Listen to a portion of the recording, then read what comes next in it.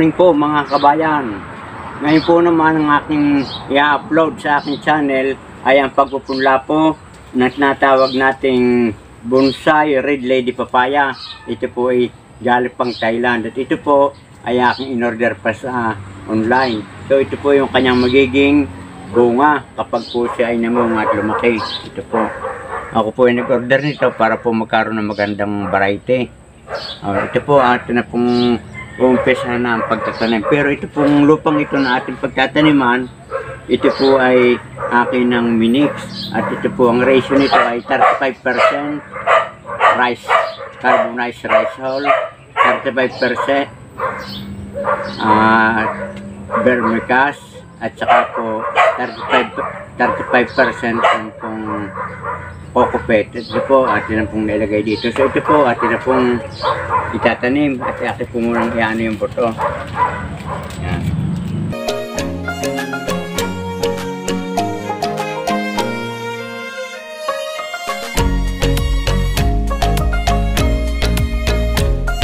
Yan, ito po.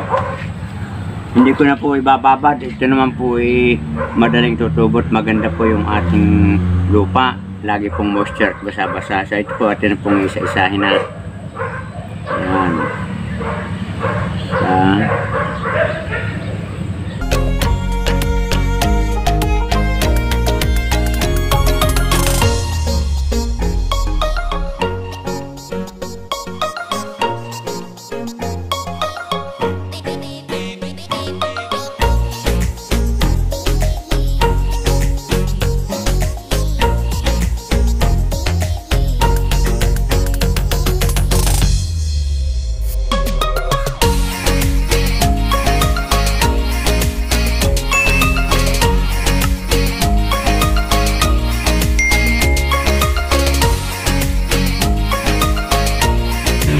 Ito po mga kabayan.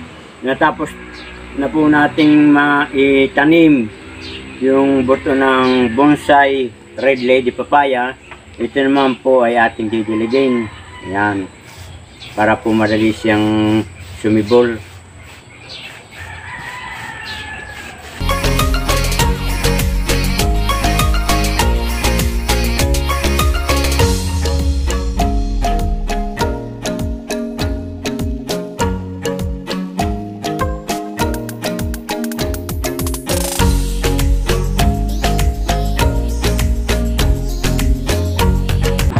Tapos na po nating madilig, ilalagay po natin sa kanlong.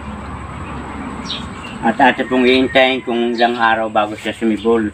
Dahil ito po hindi na natin ibinabad sa tubig. Ito po ay direct na lang. O, sige po. Yan. Yan, ito po mga kabayan. Ang aking bonsai red lady papaya. Ito po ay pagkaraan ng sampung araw na ating may tanim sa seedling tray. Ito na po yung kanyang resulta. Siya po ay medyo mahaba-haba na. Nasa mga 2 inches na po yung kanyang haba. Yan, ito po. Yan. At kapag po ito ay nagkaroon na ng apat na dahon, pwede na po nating transplant dito po sa plastic bag na kulay itim para po siya ay mabilis lumaki. Yan, ito po sampung araw pagkatapos nating may punla. Yan. Yan, ito po mga kabayan. Pagkaraan po ng 20 days na maitanim natin itong ating red lady papaya sa seedling tray, ay ito po, lum- lumaki na po siya. Ito po yung kanyang dahon. Yan.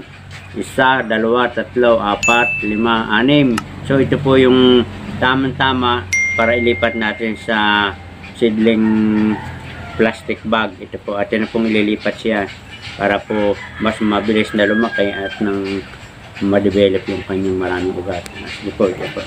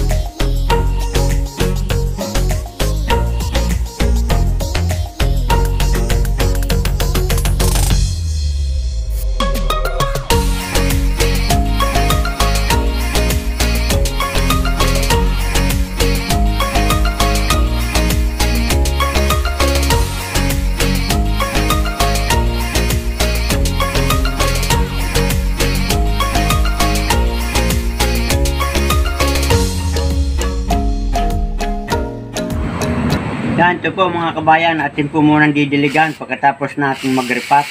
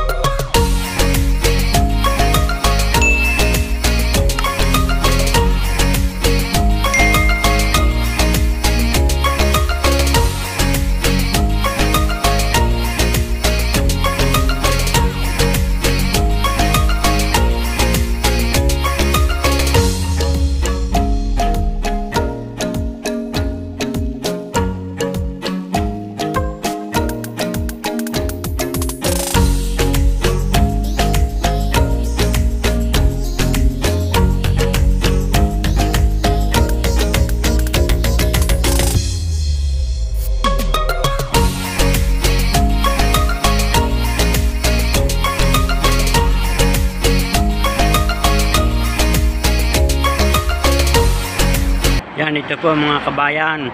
Nasa humigit kumulang 90 days na po itong papayang ito. Yan po, nag-uumpisa na po siyang bumulaklak. At ang sunod na po diyan, mga hanggang limang buwan, apat yan po ay mamumunga na. Yan po.